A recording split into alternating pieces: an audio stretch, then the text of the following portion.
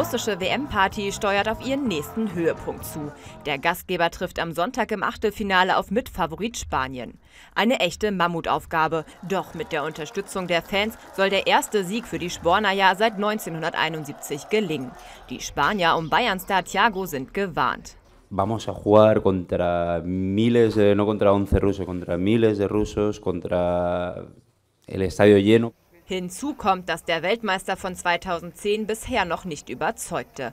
Nach dem plötzlichen Trainerwechsel unmittelbar vor Turnierbeginn läuft die gefürchtete Passmaschine noch nicht wie geschmiert. Hay un partido malo, dos malos en, en, los que, en fallos que se nos ponen los equipos muy encerrados atrás y es difícil atacar de todas formas. Es cierto que no hemos elaborado nuestro mejor fútbol, pero coño, vamos a ganar. Somos España, estamos todos aquí juntos para poder ganar. Unterstützung erhalten Ramos und Co. von höchster Stelle. König Felipe wird bei der Partie auf der Tribüne sitzen. Spanien will zum Partyschreck werden. In Russland hofft man auf das Mirakel von Moskau.